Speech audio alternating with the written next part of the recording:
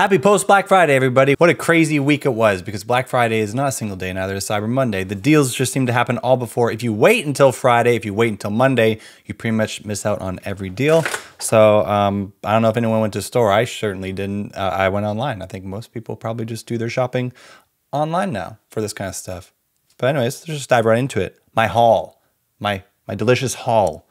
So I've been waiting for Dying Light to come out at a cheaper price. I loved the first game. I even started playing it again on Switch. I love playing with my brother. We could connect online. It was a lot of fun. Uh, this one's kind of getting mixed reviews, so I, I just didn't want to play a full price. The original game as well, just when it launched, was not uh, met with very good reviews. People didn't like it, and then it got better and better and became what I think is just one of the best zombie games ever made. And now this one, I'm not really sure where it's at. There's been updates. I don't know. It almost has the same story, but Anyways, I'm ready to dive into it. $20. And I follow IGN for a lot of stuff and other YouTubers, and no one highlighted this discount. And it was on Amazon. On the PlayStation Store, never really goes below $30. So I've never gotten it digitally, but I got it here for 20 bucks on Amazon. And I think it was sold out on Best Buy for their Black Friday. They also had it for $20. Dead Space, 40 bucks, or maybe it was $35. But um, is the only one I kind of went over, I think, $30 for because at least for myself, because I I've been wanting to play this game. Uh, it was like a toss up between this and Resident Evil 4.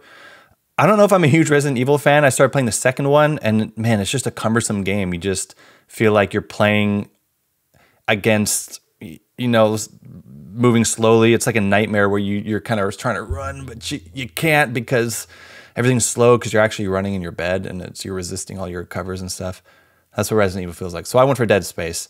I played this for like five minutes on the 360 back in the day and had a 360 in like the PS4 era and it just felt a little dated. So I'm excited that they've remade it. And um, yeah, I love aliens, I love space, I love horror and sci-fi. So I'm pumped. This was like $20. I'm excited to play this one. I didn't realize it's 16 games. It's weird for the Switch box. They, they added some cardboard, so it kind of looks like it's a PlayStation sized box. But yeah, that'll be fun. Uh, $15 can't go wrong. Like, holy smokes. But then Walmart was like, we have it for $35 or something like that. But then Best Buy, it's their version, even has their stamp, which is kind of cringy, but it's a cosmic edition. So it comes with some extra digital things. So you're getting more for $15 than the blank version. But maybe a collector would want that clean box without the Best Buy junk on there. But I was like, I mean, I don't really care. I've got the game now, $15. It's, I played the first one for like a couple hours. I was just over tactics games at the time. But I think I should give another chance. But anyways, this is my library. I got my whole life to play it. Bomberman 2. Sorry, y'all. I'm kind of negative, but I did not like the first Bomberman, but I love Bomberman in general, and it's a great multiplayer game. You can play up to eight players in this one as well. No one's talking about Bomberman 2. It sure went uh, down in price really fast. I think this was also $15. Uh, so you can't really go wrong. And yeah, I just can't wait to play with family and stuff. I hope there's more features. I don't really know much about it. I remember it came out and it was like, oh, cool, they're making another one. And then yeah, no one talked about it. $15 again. So I played Fire Emblem Awakening. Oh, let's get that centered here. Uh, so Fire, that was uh, a great experience, great story. And then I saw, I never got into the Switch ones because I was kind of Fire Emblemed out. I played Fates, actually had the three pack for that one, but I just, it was so, I don't know, it felt random. It was like it was throwing way too much at me. And looking at like people who rank the Fire Emblem games, they're like, yeah, that was not one of the best ones. But at the time, people were like, no, it's amazing. But yeah, it was just like not as good as Awakening, even though it had, I think if you just wanted to play the game, the game mechanics maybe was better, but the story was lame. Uh, it was just a lot. Yeah, the marriage system, not that I care about a marriage system, but it confused the heck out of me. This one, though, is highly regarded. Uh, I think it was the first Switch one, Three Hopes. Yeah, I thought it was Three Houses. And um, I'm looking forward. I remember seeing it advertised and I was like, I'm just not willing to pay $60 for it, but $15? And this one disappeared fast. I don't think you can get it for that price anymore. It went up to $25. Uh, it kind of sold out even at, on, on, Amazon for a second. But yeah, I'm, I'm pumped to try that one, get into Fire Emblem again. It's been a while. Uh, it's been a while since I've done, yeah, it's another tactics game, but whatever. Rocky and Pocky. Reshrined. I don't even think this is a remake. I think it's a fully new game. It's like widescreen, but look at that retro art. I might have even played it. I can't remember. Do I have it digitally? I just I think this is also fifteen dollars, and yeah, you just can't go wrong. We're at the era of the Switch's life where games are less than twenty dollars, and that might not last forever. I remember seeing like uh, Zelda Phantom Hourglass or maybe it was Spirit Tracks in a bargain bin, and I didn't go for it. It was like less than ten dollars or something. Same with the game Aliens by WayForward.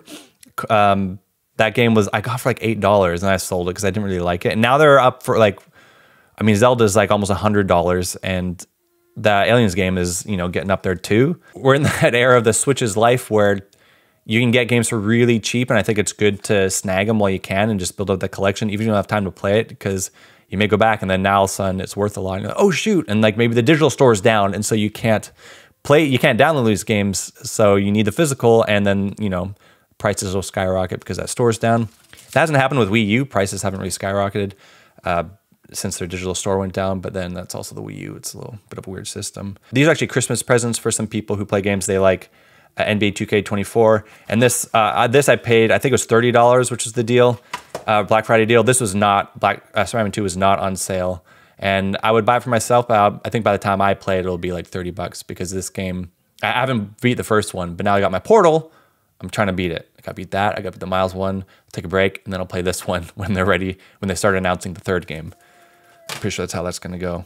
And then, yeah, even though this is about gaming, I got some Criterion Collection uh, Blu-rays. I think this Thelma and Louise, which I haven't seen any of these movies, but this Criterion is kind of uh, highly sought after. I don't even know if it was a Black Friday deal, but they were $25.